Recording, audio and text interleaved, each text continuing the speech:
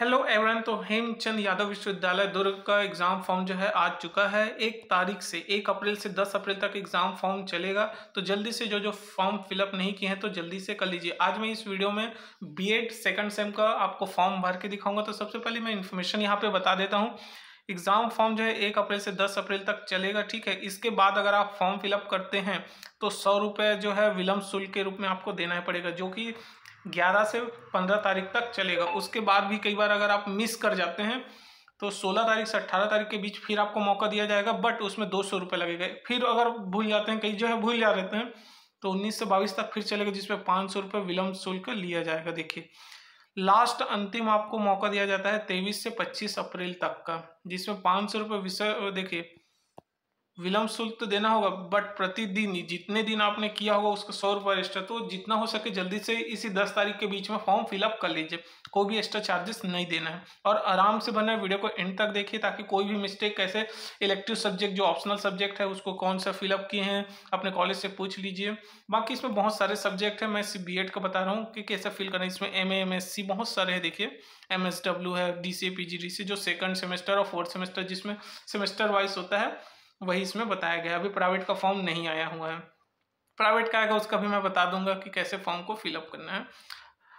ठीक है, इसमें जो एटी केटी आए रहते हैं, जो एक आध सब्जेक्ट में फेल हुए रहते हैं, उसका भी इसी में वहाँ पे शो होता है। ठीक है तो जल्दी से फॉर्म को फिलअप करके अपने कॉलेज महाविद्यालय में जमा कर लीजिए, क्योंकि ये हार्ड कॉपी जमा करने की अंतिम तिथि 26 अप्रैल तक है।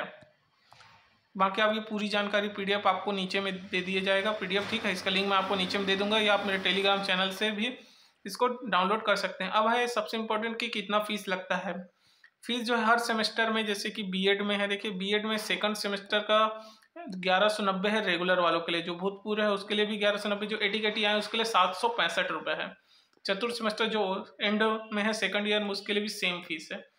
ठीक है? तो ये सारा सब्जेक्ट का फ़ीस यहाँ पे स्ट्रक्चर बता दिया गया है। आप अपने हिसाब से देख लीजिए किसमें आप फिल करना चाहते हैं। तो चलिए, हम जो है पूरा स्टेप टू स्टेप बताऊँगा पूरा बेसिक से कैसे फॉर्म को फिलअप करना है।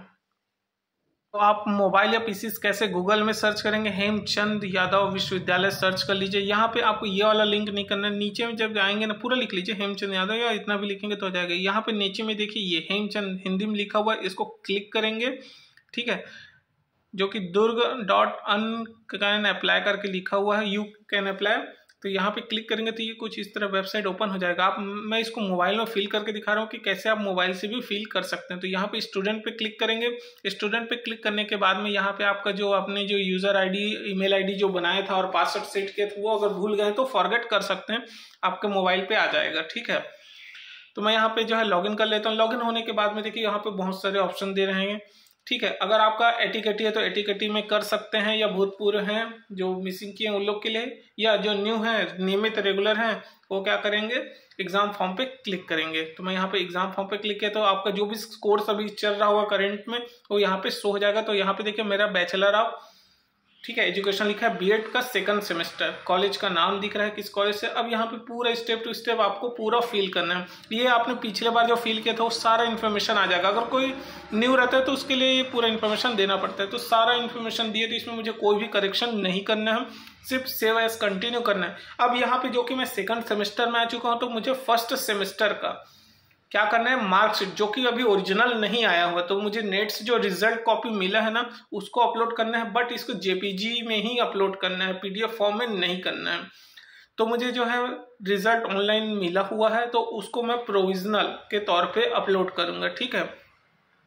ऑनलाइन मुझे मिला हुआ है ओरिजिनल तो क्या है, अभी आया नहीं रहता, थोड़ा लेट से आता है, ठीक है? तो मैं यहाँ पे क्या करता हूँ प्रोविजनल सेलेक्ट करूँगा प्रोविजनल सेलेक्ट करके मैं यहाँ पे अपलोड करूँगा। ये देखिए, जो रिज़ल्ट मुझे मिला था बीएड सेकंड सेमेस्टर का। सॉरी फ़र्स्ट सेमेस्टर का जो रिज़ल्ट था, उसको मैं यहाँ पे अपलोड करूँगा। आप भी जो है ऑनलाइन निकाल लीजिए, नहीं है तो रिज़ल्ट अभी भी मिल जाता है। रोल नंबर डाल के एंटर कर सकते हैं, ठीक है? चलिए तो मैं इसको अपलोड करके दिखाता हूँ यहाँ पे। तो यहाँ पे मैं अपलोड कर दिया प्रोविजनल करके तो आप देखना भी चाहते हैं, सही है, नहीं तो क्लिक भी करेंगे ना तो यहाँ पे दिख जाता है। क्लिक करेंगे, अपलोड करेंगे तो देखिए यहाँ पे दिख रहा है कि आपके ये रिज़ल्ट है, आपके नाम से ही आप चेक कर लेना है, सही अपलोड करना है।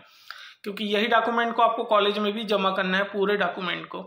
अब सेव एस कंटिन्यू करेंगे तो आपका जो भी पिक इसमें जो डला है, अगर चेंजेस करना चाहते हैं तो कर सकते हैं। फ़ोटो सिग्नेचर को नहीं करना है तो सेव एस कंटिन्यू कर लीजिए। अब मोस्ट इंपॉर्टेंट है यहाँ पे। जो सेकंड सेम में कंपलसरी जो पेपर है, वो चार तो तीन तो यही रहता है। इंटर्नशिप होता है वन मंथ का, वो सब ऑटोमेटिक रहता है, इसमें कोई चेंजेस नहीं। ऑप्शनल जो इलेक्टिव सब्जेक्ट है यहाँ पे आप कौन सा इलेक्टिव सब्जेक्ट लेना चाहते हैं, वो चॉइस कर लीजिए। जैसे मैं यहाँ पे एम ई लूँगा एजुकेशन एंड मेंटल मेज़रमेंट आप अपने हिसाब से चॉइस कर लीजिए आर्ट एजुकेशन लेना चाहते हैं एजुकेशन एडमिनिस्ट्रेशन मैनेजमेंट या सर्कुलेशन नॉलेज लेना चाहते हैं तो मैं एम ई सेलेक्ट किया हूँ, जो कि हम मैथमेटिक्स वाले तो मैथमेटिक्स इससे में रहता है तो ईजी पड़ता है, ठीक है? मैं ये एम ई सेलेक्ट करने के बाद सेव कर दिया। अब आपको एक रिव्यू दे रहा है कि हाँ ये आपने इतना ये चीज़ फील किया हुआ है, एक बार चेक कर लीजिए। कोई भी मिस्टेक है तो आप जो है डैशबोर्ड में जाकर फिर से चेंजेस कर सकते हैं। देखिए, यहाँ पे पूरा लाइन से दिया हुआ है, यही इंपॉर्टेंट होता है इलेक्टिव सब्जेक्ट क्योंकि एक बार फिल करने के बाद त्रुटि सुधार होगा बट पैसा आपको फिर देना पड़ता है, त्रुटि सुधार के लिए सौ रुपये तो एक बार चेक कर लीजिए ना कि हाँ मैंने एम ई चॉइस किया एजुकेशन मेंटल मेज़रमेंट सही हो जाने के बाद में आई कन्फर्म दबाव पे क्लिक करेंगे और कन्फर्म एंड सबमिट पे सबमिट कर देंगे। ठीक है तो यहाँ पे मैं कंफर्म एंड सबमिट पे कर दिया। अब यहाँ पे प्रोसेस कर रहा है पेमेंट के लिए। चलिए, अब पेमेंट करते हैं। हम यहाँ पे पूरा मैंने सारा चीज़ चेक लीजिए कि हाँ ये सब चीज़ है। अब यहाँ से एडिट नहीं होगा क्योंकि मैंने कंफर्म करके आगे बढ़ा दिया हुआ है। अब यहाँ पे पेमेंट करने के लिए यहाँ पे दो ऑप्शन आएगा। देखिए यहाँ पे राइट साइड में पेमेंट टाइप में दे रहा है। तो मैं पेमेंट टाइप को किया तो यहाँ पे दो ऑप्शन दे रहे हैं ऑनलाइन और एक यूपीआई आजकल सभी के पास यूपीआई रहता है तो बिल्कुल आप यूपीआई चॉइस कर लीजिए, फिर प्रोसेस टू पे में करेंगे तो यहाँ पे आपका name email ID mobile number दिया था जैसे पेमेंट सक्सेस होगा ना, आपके मोबाइल में मैसेज चल देगा कि हाँ आपने ये पेमेंट किया। कोई भी जो है ट्रांजेक्शन चार्जेस नहीं लेता। सिर्फ़ ग्यारह सौ नब्बे रुपये आपको पेमेंट करना है। यहाँ पे आप अपना जो फ़ोन पे हो गूगल पे हो पेटीएम हो, उसका यूपीआई आईडी डाल दीजिए और वेरीफाई कर लीजिए। तो आपका यहाँ पे पूरा नेम आ जाएगा कि हाँ ये सच है। अगर कोई भी मिस्टेक होगा तो नहीं दिखेगा आपका नाम। देखिए, मेरा नाम यहाँ पे शो कर दिया। क्लिक किया। ठीक है। अब आपके मोबाइल में पॉपअप जाएगा। जैसे ही आप पेमेंट सक्सेस करेंगे, देखिए यहाँ पे जैसे मैंने पेमेंट किया, यहाँ पे शो कर दिया कि आपका सक्सेसफुली होगा। वेट करना है। ये पाँच मिनट के अंदर में पूरा प्रोसेस करना रहता है। ठीक है। तो जैसे ही होगा ऑटोमेटिकली पेमेंट सक्सेस होने के बाद में ये सक्सेस शो हो जाएगा।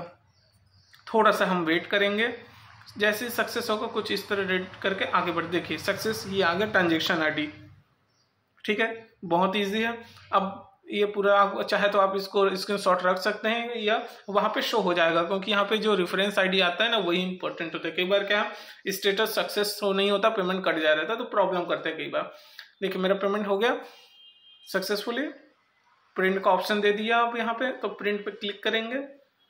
तो ये आपको फॉर्म आ गया जो कि एक स्टूडेंट कॉपी होता है कि यूनिवर्सिटी कॉपी स्टूडेंट कॉपी आप अपने पास रखना है यूनिवर्सिटी कॉपी में सारे सर्टिफिकेट दसवीं, बारहवीं कॉलेज जाति, निवास, और जो ये फॉर्म फिलअप किए हैं वो, और चाहे तो जो अलॉटमेंट लेटर जो आपको मिला था, वो भी साथ में रख लीजिए, क्योंकि कभी कभी ये माँगता ही है, सबको यूनिवर्सिटी भेजना रहता है, ठीक है? और सबसे इम्पोर्टेंट है, आपने जो मार्कशीट अपलोड की है ना, वो, उसको अटैच करके कॉलेज में जमा कर दीजिए। एग्ज़ाम फॉर्म के साथ, ठीक है? तो देखिए, यहाँ से आप कभी भी एनी टाइम डाउनलोड कर सकते हैं प्रिंट कर सकते हैं। वीडियो अच्छा लगा तो चैनल को ज़रूर सब्सक्राइब कीजिए ओके